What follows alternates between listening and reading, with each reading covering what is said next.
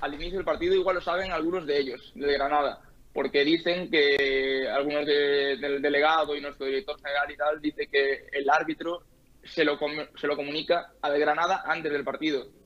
O sea, ah, o sea que el árbitro... se la jugaron ya sabiendo que eh, podían incurrir en esa de debida, pero ellos estaban seguros de que la regla estaba con ellos. Y al final, pues parece que no.